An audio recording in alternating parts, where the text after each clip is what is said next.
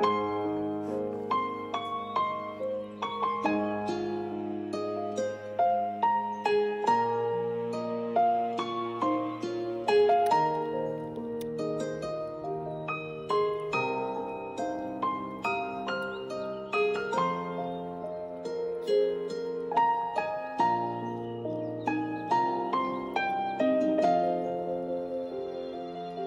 finish it all. You're the biggest one. You don't even need that much. Alright, that's the end.